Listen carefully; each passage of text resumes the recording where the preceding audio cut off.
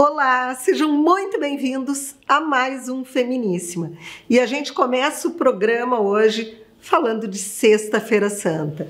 Gente, parece mentira, mas a Páscoa já está aí, não é? E a Sexta-feira Santa chegando.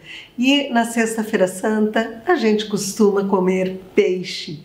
E tem lugar melhor para comer peixe do que a Cirilando, pois a Cirilando tem um cardápio todo especial para Sexta-feira Santa e também para você levar, se você for viajar, levar congeladinho, seja para praia, para serra, enfim, você pode carregar a Cirilando junto com você. Então assim, ó, quem tipo, for viajar ou for passar a Sexta-feira Santa aqui em Porto Alegre. Dá para degustar as delícias da Cirilando ali no bistrô mesmo, que fica na Anitta Garibaldi, esquina com a Freire Alemão, ou então passar lá antes de viajar e já sair carregado para a praia ou para a serra. A Cirilando tem casquinhas de siri maravilhosas, peixes maravilhosos, pastel de siri, pastel de camarão, enfim, tudo aquilo que a gente ama eu vou almoçar na Sexta-feira Santa na Cirilando. E você vai estar por lá?